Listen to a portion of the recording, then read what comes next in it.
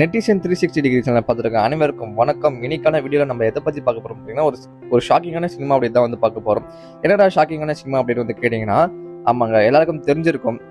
தமிழ் சினிமாவோட pride Indian சினிமாவோட ப்ரைடுன்னு சொல்லலாம். ஒரு வரலாற்று திரைப்படம் பொன்னியின் செல்வன் ரொம்ப நிறைய பேர் எம்ஜிஆர் காலத்துலேருந்து எம்ஜிஆர் கமல் இவங்கெல்லாம் எடுக்க முடியாமல் கடைசியில் மணிரத்னம் டைரக்டர் மணிரத்னம் வந்து இப்போ அந்த படத்தை வந்து ஒரே வழியாக வந்து அந்த படத்தை வந்து எடுத்து முடிச்சிருக்காரு. அதாவது பொன்னியின் செல்வன் பாகம் ஒன்று. பார்ட் ஒன் மூவி வந்து எடுத்திருக்காரு. அந்த படம் வந்து வருகின்ற முப்பதாம் தேதி பார்த்தீங்கன்னா இந்த மாதம் முப்பதாம் தேதி ரிலீஸ் ஆக போகுது. இது எல்லாருக்கும் தெரிஞ்ச விஷயம் தான் இதுக்கு நடுவில் என்னடா ஒரு இப்போ புதுசாக ஒரு ட்விஸ்ட்டுன்னு பார்த்தீங்கன்னா நானே வருவன் செல்வராகன் தனுஷை வச்சு டைரக்ட் பண்ண நானே வருவன் படம் பார்த்தீங்கன்னா இப்போ அந்த படத்தோட டீசர் சமீபத்தில் ரிலீஸ் பண்ணாங்க. டீசர் போஸ்டராக ரிலீஸ் பண்ணாங்க. அந்த டீசர் போஸ்டர் எல்லாத்துலேயும் பார்த்தீங்கன்னா in September two thousand twenty டூன்னு சொல்லி மென்ஷன் பண்ணியிருந்தாங்க. ஸோ இதெல்லாம் சினிமா ஆடியன்ஸ் எல்லாருக்குமே ஒரு டவுட் எப்போ ரிலீஸ் பண்ண போகிறாங்க செப்டம்பர் பொன்னியின் செல்வன் ரிலீஸ் ஆகும் போது முப்பதாம் தேதி. இவங்க எப்போ படத்தை ரிலீஸ் பண்ண போகிறாங்க ஏன்னா ஆல்ரெடி பார்த்தீங்கன்னா வெந்தனியது காடு பார்த்தீங்கன்னா பதினேழு செப்டம்பர் பதினஞ்சு ரிலீஸ் ஆயிடுச்சு. அதுவே பார்த்தீங்கன்னா ஒரு ஒன்றரை வாரத்துக்கு ஒரு ரெண்டு வாரத்துக்கு பார்த்தீங்கன்னா அதுவே வந்து தேட்டர் ஆக்குபைசி வந்து வெந்தனியது காடு படமே பிடிச்சிரும். லட்சக்கணக்கான ஃபேன்ஸே அந்த படத்தை வந்து பார்த்து மக்களே பார்த்துட்டு வருவாங்க. ஸோ இதுக்கு நடுவில் பார்த்தீங்கன்னா வெந்தனியது காடு படத்துக்கும் பொன்னியின் செல்வத்துக்கும் நடுவில் பார்த்தீங்கன்னா ஒரு ஒன்றரை வாரம் டைம் கேப்பாக தான் இருக்குது அந்த ஒன்றரை வாரத்தை நான் சொன்ன மாதிரி வெந்தனியது காடே பற்றி ஒரு வாரம் வந்து பிடிச்சிரும் ஆக்குப்பிடிச்சு மீதி இருக்கிற ஒரு இடப்பட்ட காலம் ஒரு அஞ்சு நாள் இந்த கேப்பில் எங்கடா படத்தை ரிலீஸ் பண்ண போகிறாங்கன்னு பார்த்தீங்கன்னா இப்போ அஃபீஷியலாக வந்து அதுக்கு ரிலீஸ் டேட் வந்து சொல்லியிருக்காங்க. அது என்னன்னு பார்த்தீங்கன்னா செப்டம்பர் இருபத்தொம்பதாம் தேதி பார்த்தீங்கன்னா நாணயவர்மன் படம் வந்து ரிலீஸ் ஆக போதாங்க ஆமாங்க செப்டம்பர் இருபத்தொம்பது நாணயவர்மன் அதுக்கு அடுத்த நாள் பார்த்தீங்கன்னா பொன்னியின் செல்வன் வந்து ரிலீஸ் ஆக போகுது. இதை கேட்டு இப்போ சினிமா ஃபேன்ஸ் எல்லாருமே ரொம்பவே ஷாக்கிங்காக இருக்காங்க. ஏன்னா இவ்வளோ பெரிய மிகப்பெரிய ஒரு வரலாற்று திரைப்படம் இத்தனை வருஷத்துக்கு கழிச்சு எடுக்க முடியாத ஒரு படம் வந்து இப்போ வந்து எடுத்திருக்காங்க. ஸோ அந்த படம் அவ்வளோ பெரிய படம் ரிலீஸ் ஆகும்போது இந்த நானே ஒரு படத்தை ரிலீஸ் பண்ணும்போது ரொம்பவே ஃபேன்ஸ் ஷாக்கிங்காக இருக்கு ஸோ எதுக்கு போய் பார்க்கறதுன்ற மாதிரி இருக்கிறாங்க. இன்னொரு விஷயம் என்னன்னு கேட்டிங்கன்னா இவ்வளோ பெரிய மிகப்பெரிய படம் ரிலீஸ் ஆகும்போது தேட்டர்ஸ் எல்லாமே ஸ்க்ரீன்ஸ் எல்லாமே அவங்க தான் தருவாங்க.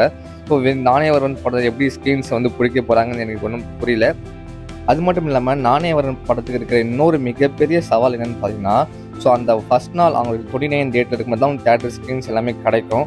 அன்னைக்கு மட்டும் படம் வர வர ரிவ்யூஸு அன்னைக்கு படம் எவ்வளோ நல்லா இருக்குது எப்படி இருக்குது அன்னைக்கு வர ரிவ்யூஸை பொறுத்து தான் மறுநாள்லேருந்து நானே வந்து வந்து படம் ஸ்க்ரீன்ஸ் கிடைக்குமா வசூல் கிடைக்குமா எல்லாமே அன்றைக்கி ஒரே நாளில் தான் படத்தோட ரிசல்ட்டை பொறுத்து தான் இருக்குது படம் வந்து ஒரு எக்ஸ்ட்ரானரியாக நல்ல ரிசல்ட்டு நல்ல ஒரு பிளாக் பஸ்டராக இருக்குது கதை ரொம்ப சூப்பராக இருக்குது படம் ரொம்ப சூப்பராக இருக்குன்னு சொல்லினா இந்த படம் வந்து தப்பிச்சிடும் அப்படி இல்லை படம் வந்து எங்கேயா ஒரு ஒரு இடத்துல ஒரு பிசு தட்டினாலும் வச்சுக்கோங்களேன் படம் வந்து டோட்டலாக வந்து ஒரு இதுவாகிடும் மீன் செல்வன் வந்து அந்த இடத்துல வந்து இது பண்ணிடும்.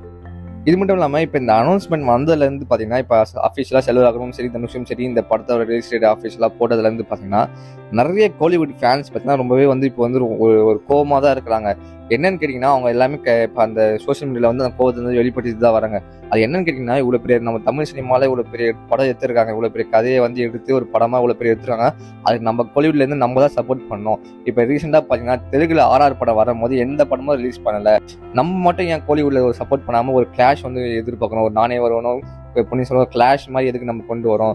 ஏன் நம்மகிட்ட யூனிட்டி இல்லையா? ஒரு சப் நம்மளே வந்து ஏன் சார் நம்ம ஒரு தமிழ் சினிமா ஒரு பைடான ஒரு மூவிக்கு வந்து சப்போர்ட் பண்ண மாட்டோம்னு சொல்லிட்டு இப்போ பார்த்தீங்கன்னா இப்போ ஃபேன்ஸ் எல்லாமே சோஷியல் மீடியாவில் பார்த்தீங்கன்னா ஒரு அவங்க கோவத்தை வந்து வெளிப்படுத்தி வராங்க ஆல்ரெடி சொன்ன மாதிரி இந்த படத்தோட அந்த ஒரு நாள் ரிசல்ட்டை பொறுத்து தான் எல்லாமே இந்த படத்தோட எல்லாமே இது இருக்கு அந்த ஒரு நாள் ரிசல்ட்டு வந்து பாசிட்டிவாக இருந்துச்சுன்னா அந்த படம் தப்பிச்சிடும் அப்படி இல்லை நெகட்டிவாக அந்த படம் அன்னைக்கு இது இல்லை படம் வந்து கொஞ்சம் அப்படி இப்படி நெகட்டிவாக ரிசல்ட் வந்தாலும் சரி வசூல் ரீதியாக அந்த படம் வந்து மிகப்பெரிய சருக்களை சந்திக்க நிறையவே சான்சஸ் இருக்குது ஏன்னா பொன்னியின் செல்வம் மாரி ஒரு படத்தோட மோதுறது ரொம்ப அவ்வளோ இதுவான விஷயம் கிடையாது. ஸோ எப்படி இருந்தாலும் பொன்னியின் செல்வம் வந்து ஒரு க பாசிட்டிவான ரிவ்யூ வரதாக அதுக்கு தெரிஞ்ச விஷயம். அது கூட இந்த படத்தை கம்ப கிளாஷ் விடும் போது எப்படி இருக்குன்னு தெரியல. ஸோ இதுக்குமே ப்ரொடியூசர் தானும் எப்படி ஒரு சம்மதிச்சாருன்னு இப்போ வரைக்கும் கோலிவுட் வட்டாரங்க எப்படின்னு தெரியல. ஸோ இவ்வளோ பெரிய மிகப்பெரிய படத்தை ரிலீஸ் பண்ணும்போது இந்த படத்தை ரிலீஸ் பண்ணியிருக்காங்க. ஸோ எப்படின்னு தெரியல. வெயிட் பண்ணி பார்ப்போம். நானே வாழ்வன் எப்படி போக போகுது பொன்னியின் செல்வன் எப்படி இருக்க போகுதுன்னு சொல்லிட்டு. எப்படி இருந்தாலும் எண்ட் ஆஃப் த டே ரெண்டு படமே நல்லபடியாக போகணும்னு சொல்லி தான் எல்லாரும் எதிர்பார்ப்பாங்க. அதேமாதிரி ரெண்டு படமும் நல்லபடியாக போகணும். ஸோ இவ்வளோ பெரிய ஒரு டிசிஷன் வந்து நானே வருவன் டீம் எடுத்திருக்காங்க. ஸோ அது வந்து எந்த மாரி இருக்குன்னு சொல்லி நம்ம வெயிட் பண்ணி பார்க்கலாம்.